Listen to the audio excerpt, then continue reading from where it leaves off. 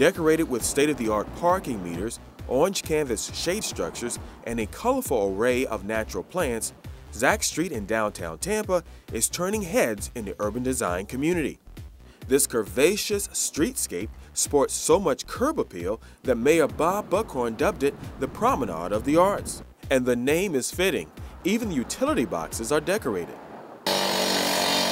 The transformation process started months ago under the artistic direction of Graham-Booth Landscape Architecture, a regional design firm.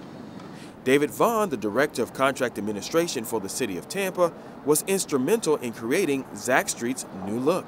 This was a chance to step back and, and from the outset of the design, look at the overall streetscape and how this, how this street could perform and the kind of experiences that it could offer. And so we were looking at not only the sustainability features, we were looking at landscaping, we were looking at wider walks. From all indications, this innovative idea paid off. Zack Street has become the bridge between Tampa's busy downtown core and its cultural arts district. Well, the first thing that you notice on Zack Street are, the wide sidewalks. The wide sidewalks make room for people to walk, be able to spend time just leisurely getting down the street. Uh, they have a lot of room to be able to move forward. If someone's riding a bike, they can also get on the, on the sidewalk as well. The other part is that there's trees at certain points where you can sit back and sort of enjoy the shade. They're not big trees now, but they will be uh, in several years down the road. It really is a grand avenue for pedestrians to enjoy. Citizens and tourists alike have an easily identifiable path to the Glazers Children Museum, Curtis Hixon Waterfront Park, and the Tampa Riverwalk. We like to think that the Tampa Theater started the Arts District in Tampa.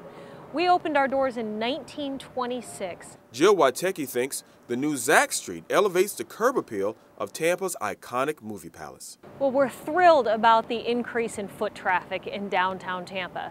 With Zack Street, with all of the new restaurants on Franklin Street, with some of the new residential areas and all of these new little businesses popping up, we are seeing more and more people walking around downtown Tampa. And all it takes is for them to walk past the Tampa Theater and see that amazing marquee to know that something really special is going on here. For Witecki and her boss, John Bell, the other really special thing along Zack Street is the medallion dedicated to the Tampa Theater. On the projector here coming out of the beam, there's a little tribute to Fink Finley, who is our resident ghost. Um, as you know, Fink, anytime anything happens at the theater that's um, a little strange, we always blame Fink.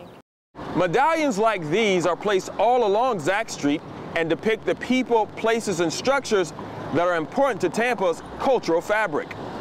State Senator and Tampa native Arthenia Joyner loves the concept of the medallions.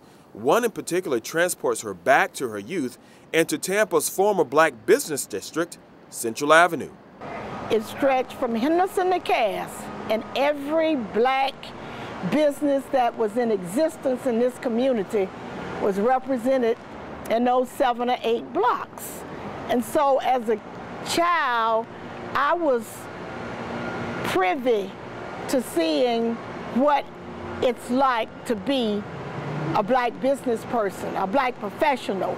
I had uh, the love and affection of all of the people, and it was like family. Joyner is not bitter about the city's segregated past. She's optimistic that the medallions can foster a better sense of community.